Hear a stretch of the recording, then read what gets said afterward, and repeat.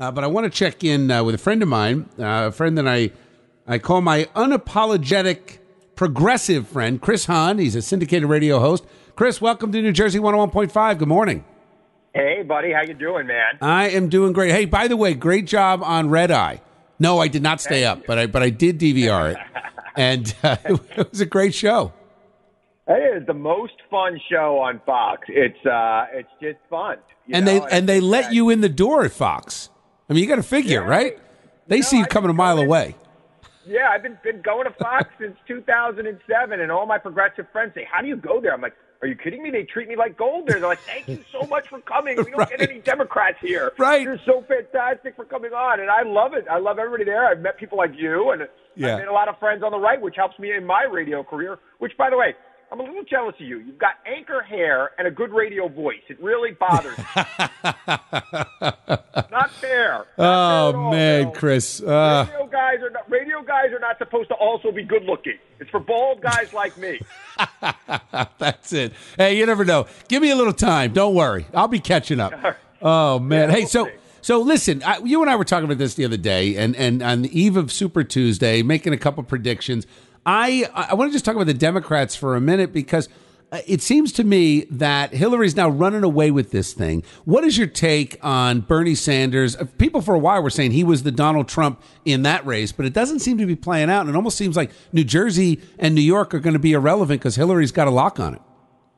You know, I think that it's. I think organization still matters in politics. You and I have had this conversation. You and I are both old campaign guys, Yeah. and uh, you know, I think an organization matters. And Hillary has a really good organization that's winning states. I think you see that also on the Republican side with Ted Cruz. I mean, his organization is pretty good. It's a lot better than Marco Rubio's, and it's out there and it's actually delivering votes. And he's also better at managing expectations than anybody else in the field right now.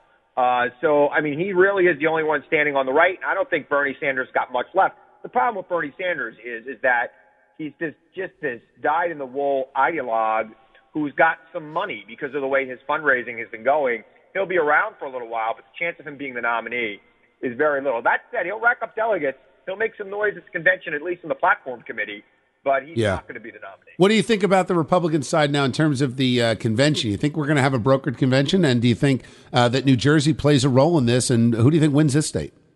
Oh, I I uh, I think there'll be a brokered convention, and I would be I would be a little shocked if Donald Trump didn't win New Jersey. I mean, Donald Trump is built for New Jersey. I mean, you know, you know, again, I don't know what the feeling is about Donald Trump down the shore with all of his projects in Atlantic City, some of Yeah. which have gone horribly wrong. Uh, you know, there might be a lot of that in that, in, you know, in that South Jersey market that I'm not really aware of. You would know better than me, but Yeah. uh, you know, to me as a casual observer, you know, he's got the backing of the governor. I know the governor's numbers aren't as good as they used to be, but you know, he's still got enough backing from the governor that uh, you know, I, I would imagine among Republicans in New Jersey, the governor's still very popular. Yeah, well, And it's, in a Republican a closed primary in New Jersey, I don't see how he loses. yeah, that's interesting, and you know that, and what it does is, of course, it puts New Jersey into play. And I, so as a northeasterner, as a Jersey guy, I love to see New Jersey and New York having a say in who the nominee is going to be and potentially the next president. Yeah, I mean, I gave a, I gave a speech uh, right after Iowa uh, up at my alma mater, University of Albany, and I was with Ron Christie, our, our mutual friend. Yeah, Uh, and uh, you know, I said I didn't think Donald Trump would still be in it by New York. I was completely wrong. right. Uh, and uh, he'll be in it by New York. He'll probably win New York. I saw a poll the other day, uh, a general election poll, that had him even with Hillary Clinton in the suburbs. Well, that's That's the that's That's the odd. thing. Do you think that Jersey and New York now are potentially in play in the general election? No, I don't think. I don't think. Uh, maybe New Jersey, but I don't think New York's in play in the general election. Like I said, organization still matters. There is a real organization in the Democratic Party in New York. I think there's still an organization for the Democratic Party in New Jersey, although not as solid. Obviously, you don't have a governor, uh, you know, in New Jersey on the Democratic side. Yeah. So I think that uh, you know I you know I still you know we we all like to talk about the issues. We all like to talk about who's up, who's down, what's doing what. But organization and and politics is an art, and it, it takes people with skill to get people out. Donald Trump has really been the exception to that rule, although it is very clear to me that he's gotten some political professionals involved with his campaign Yeah. ever since Iowa. Yeah, there's no And- question. and He's serious now, I think. Yeah, and I mean, just the fact that he rolled that Christie endorsement out when he did Yeah. was real political savvy.